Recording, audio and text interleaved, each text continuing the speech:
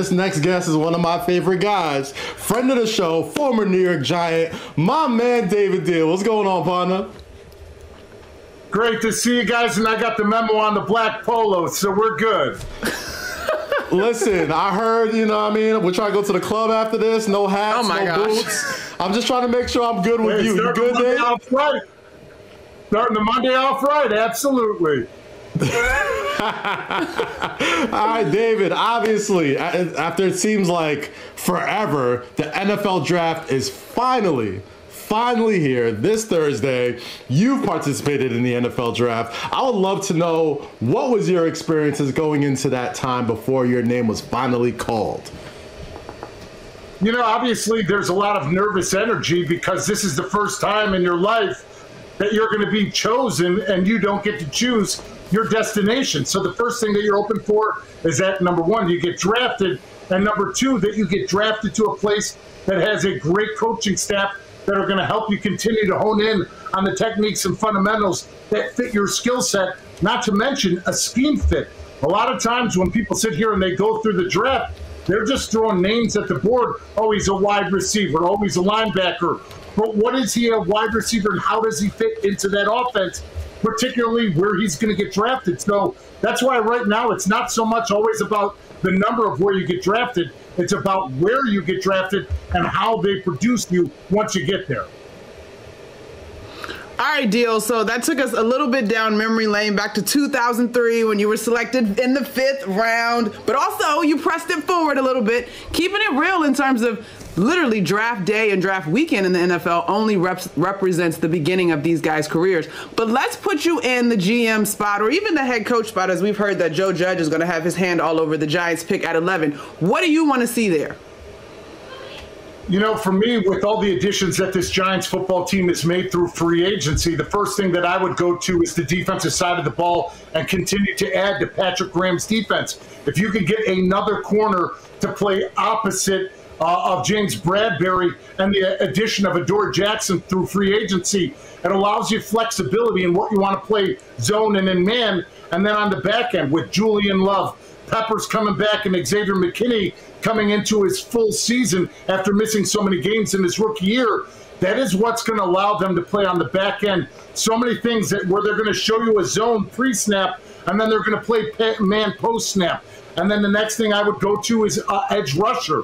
We all know that with Dexter Lawrence on the inside, with Leonard Williams, if they could get that one piece to the outside, now it's going to make offensive coordinators struggle. Okay, do we chip through the B gaps with our running backs? Now we're going to have to keep our tight ends in to chip on the edges for another premier pass rusher. And once again, they always say the best pass rush is a coverage, and the best coverage is a pass rush. So if they can marry those two things together with that 11 pick, I think that's where this team will really pick up stride where they left off last year. I have forgotten, Kaz, how thorough one David Diehl is. However, I I, correct me if I'm wrong, Kaz. I don't think I heard a name there. Did you hear a name? I heard a name. I think I heard a name. I don't know. Did you? I heard a Bradberry. I heard a Bradberry. But speaking of names, speaking of names, we're at that part of the draft Okay. where it's not even about what you're good at. It's about what you're not good at. It's, it's all about taking taking you down a peg. and right now, This is live the name that's right been around now. the Giant circles is Rashawn Slater, and everyone's talking about his arms are too little and all. It, it, it's weird. It's weird. Dave, have you ever heard anything like that? Or are, is arm length really a thing for the NFL draft? Without a doubt, especially when you're playing offensive tackle, because the whole thing that you're trying to do at offensive tackle is not give that defensive end any framework to hit, and you're trying to punch, restart, and redirect the defensive end. So if you think going back to the Super Bowl, my former teammate and who I won a Super Bowl with, JPP, go go gadget arms. It's not always just speed and bending around the edge. It's that one arm stab to power that if you don't have long arms, you're not going to be able to lock out that defensive end who's already got inside leverage. So it does make a difference when you are playing offensive tackle. But where Rashawn Slater makes up in it is his hand placement and his timing of his punch. When you're accurate with your hands and you can punch independently with both of your hands and hit different targets on an, uh, on a defensive end, let alone his footwork and his quick speed of his pass sets that look the best out of all the tackles coming out, that's what allows you to overcome not having that arm length like Penei Sewell. Kaz, did you get all that down? Because we're gonna go and put you out on the I'm football taking field notes. I'm taking notes. I mean, he's we want very, to see your he's extremely thorough. So I'm like, all right, long arms. Uh, okay, Diehl, you got to give me the name that you would pick at 11 before this interview ends, but we're not going to do that right this second. I do want to talk about what's currently there with the Giants. Kenny Golladay, the big signing in the offseason. Sa- Saquon Barkley will be healthy. The Giants took a lineman last year in the draft. This is kind of a do or die year for Daniel Jones. Is he in a position to take the next It is. step? What do you need to see from him? Well, obviously, they surrounded him with all the pieces needed in order for him to have a successful season and campaign in 2021. You think about the addition of Kyle Rudolph, Kenny Golladay on the outside, John Ross, the speedy vertical threat down the field, Saquon Barkley coming back healthy, and the continued evolution of this offensive line. This is now where it's on Daniel Jones to perform and to knock out the inconsistencies that he did have in 2020 because now he's going into a year, second year of his offense where he didn't have an offseason last year. None of those excuses are going to be there for the Giants and for Daniel Jones in 2020. So it's going to come down to all of his film work and the way that he plays, not about what's said about him. Now, Daniel, uh, Okay. uh, Dave, my fault. We, we, uh, I was thinking of Daniel Jones, called you Dave by whatever. Anyway, your boy, Tom Brady, uh, made some news last week. I thought he was joking around, but apparently he's dead serious. He was getting his Karen on, talking about, I want to speak to the manager about this jersey rule change, especially with defensive players.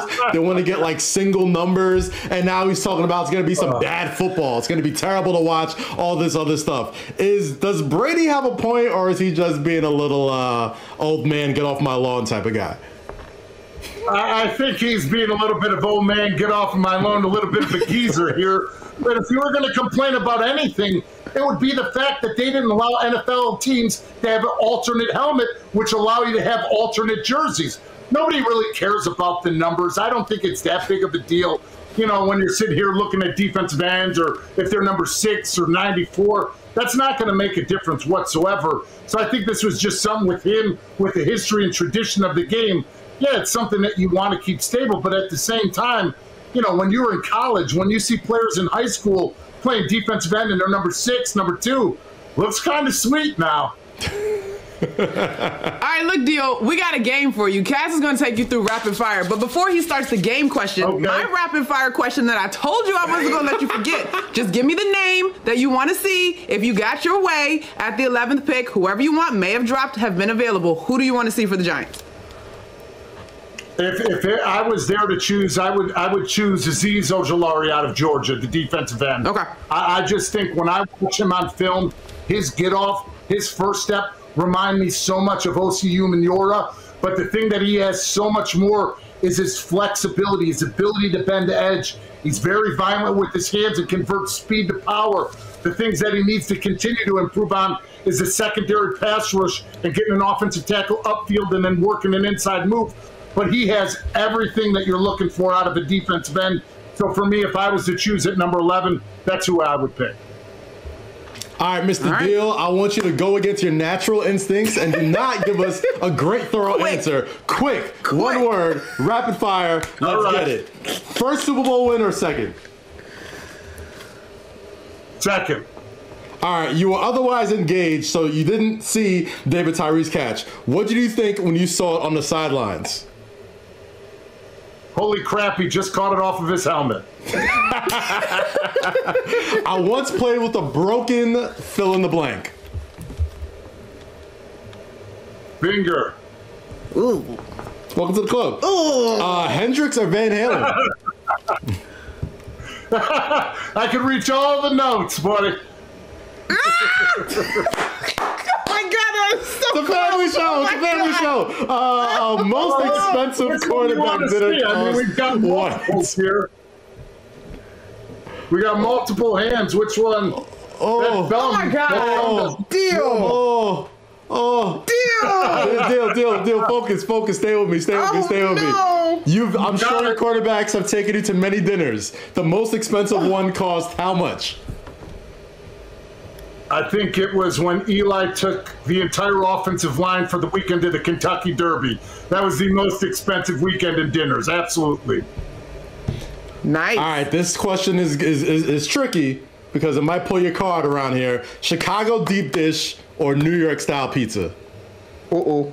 Deep dish, no question. I'm a, a hometown. Never forget your roots in Chicago. Don't get me wrong. I like a nice fold every once in a while, but you, you got to stay true to your roots. Deep dish. That is Wow, not Dio. a pizza. That is a meal. If you eat it with a knife and a fork, that's not a pizza. Last question. Every day when I wake up, my blank hurts.